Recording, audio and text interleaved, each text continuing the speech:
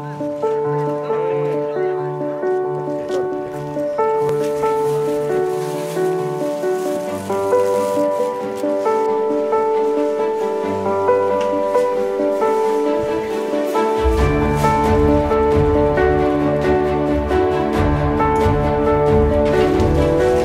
vinimos a Boca Sur, a San Pedro de la Paz, a hacer una nueva acción social, eh, Fernández Vial y Gol aquí. Yo sé que para los vecinos igual va a ser importante saludarlos por ahí en la ya nos están esperando, así que, así que bacán ahí eso. Contarles que nosotros como organización hoy día somos la Unión de Pobladores de San Pedro de la Paz y le integramos diferentes espacios, entre ellos el Centro Cultural Víctor Jara.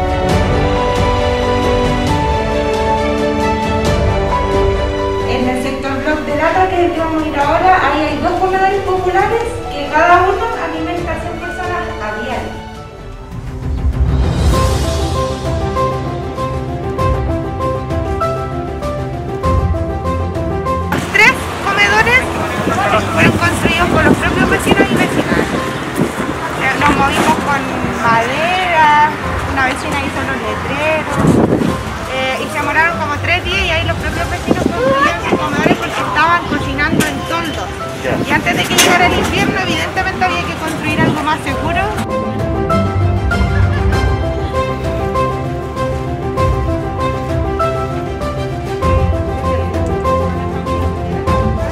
Centro Cultural ahí se organiza junto a vecinos y vecinas del Comité La Dignidad, Comité El Esfuerzo y Comité El Renuevo,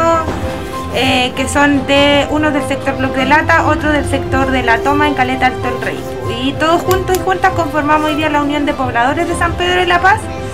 eh, que hoy día abastece a cuatro comedores a cerca de 500 personas a diario con desayuno, almuerzo y once.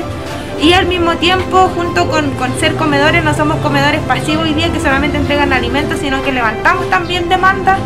que son demandas históricas del territorio. Una de ellas es la vivienda digna, eh, así que desde ahí vamos levantando demandas junto a nuestros vecinos, vecinas y organizándonos y construyendo comunidad, que es un poco lo que hemos comentado hoy día con quienes nos visitaron, pues como esta idea de que entre todos nos cuidamos, exigimos algo que es para todos, no solo para un grupo, es para todos o para ninguno, dicen los vecinos y las vecinas, así que desde ahí la organización hoy día se fortalece en unidad,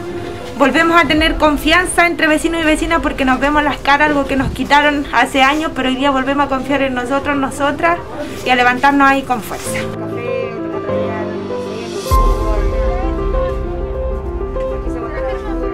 Estamos viendo la realidad, la realidad que pocos podemos ver, ya que estamos en otros lugares. Y, y, el trabajo que hace la chiquilla acá es gratificante, me dan ganas de abrazarla, de darle apoyo, de poder ayudar en lo que yo pueda. Y agradecerle a usted igual por la ayuda que le están otorgando a, que siga eh, manteniéndose este, este, este lugar y, nada que darle todo el apoyo a las chiquillas que, esto.